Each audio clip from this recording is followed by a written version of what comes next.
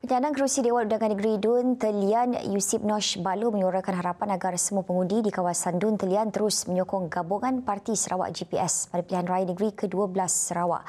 Andai kata beliau tidak tersenarai sebagai calon yang akan bertanding kelak, beliau tetap menyeru sokongan berterusan pengundi kepada gabungan berkenaan. Kata beliau semua keputusan parti untuk menentukan calon-calon yang akan bertanding terletak di tangan Ketua Menteri Datuk Patinggi Tan Sri Abang Johari Tun Openg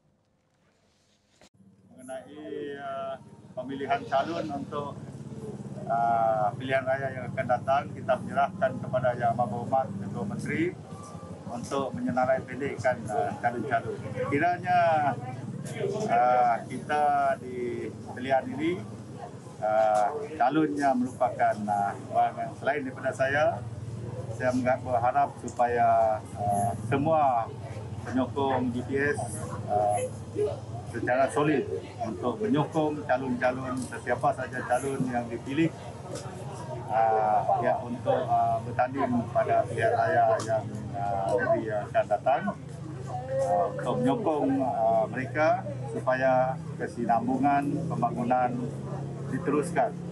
Utamanya menjelang tahun 2030 oleh Kerajaan Negeri Sarawak menjadikan Sarawak sebuah negeri yang maju.